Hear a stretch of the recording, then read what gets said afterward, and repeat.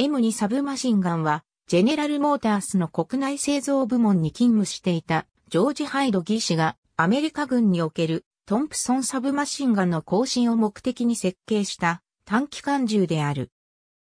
別称としてハイドインランド M2 または M2 ハイドとも表記される。1920年代以来、海兵隊をはじめとするアメリカ軍霊下の陸上戦闘部隊では不評用小銃の保管として M1921 や M1928 等のトンプソンサブマシンガンが運用されていたが、1910年代の工業技術に基づいて設計されたトンプソンシリーズは製造工程において切削加工を多用するため、軍部からは威力や信頼性についてはある程度評価できる反面、コストや生産速度、本体重量の面で難がある。消火器として認識されていた。第二次世界大戦の勃発により、兵器の生産性が重要視されたことを受け、部分的に構造の簡略化を図った改良型の設計が開始されたが、ほぼ同時期にはトンプソンシリーズの更新と、これに代わる量産の良いな新型短期間銃の採用も検討されるようになった。後継短期間銃の選定のために1930年代後半から1942年頃にかけて実施された一連の性能試験には国内外の様々な短期間銃が提出され、特にイギリス製の視点短期間銃は性能面で優れた成績を残した。審査の結果、保守的な軍部は、ステンの徹底的に単純化された外見から受けた印象に基づき従来の消火器よりも劣等にあるとみなしたため正式採用には至らなかったが、近代的な兵器における生産効率の重要性については確信を与え、その後の採用基準を形作るきっかけとなった。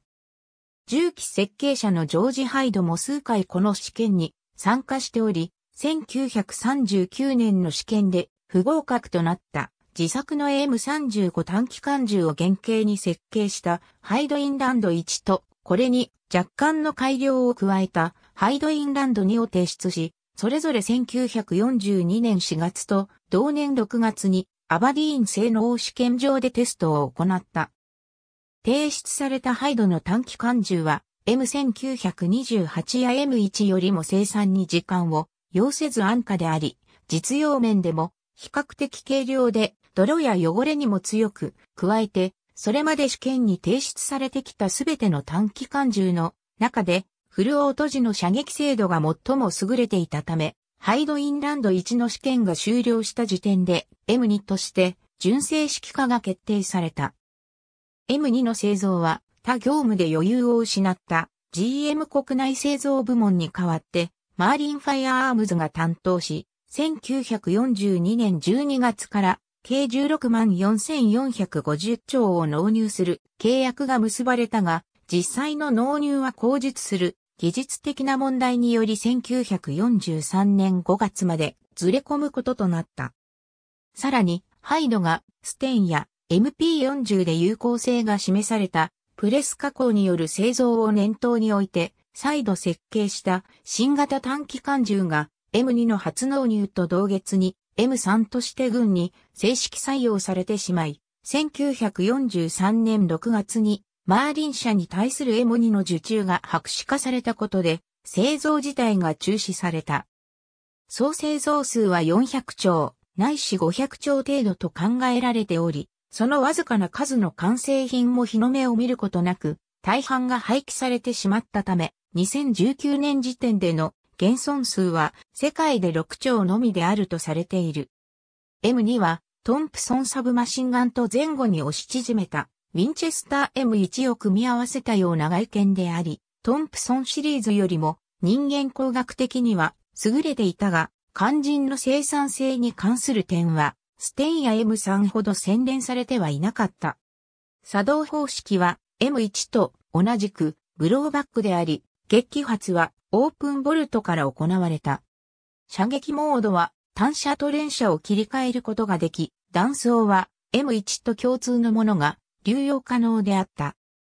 機関部を覆い、ハンドガードと一体化した特徴的な自家重傷を有したが、これは M1 の極重症よりも反動の制御が容易で、射撃精度の向上に貢献した一方、M1 以前と変わらず、旧来的な木製であったため生産効率の足かせとなった。量産性の観点から、機関部の金属部品には、小結合金が採用されたが、M2 の製造を委託されたマーリン社は、小結合金の製造技術に乏しく、強度不足の解決に相当の時間を費やして、納入時期の遅延を引き起こしたため、事実上の採用撤回を受ける直接的な原因となった。ありがとうございます。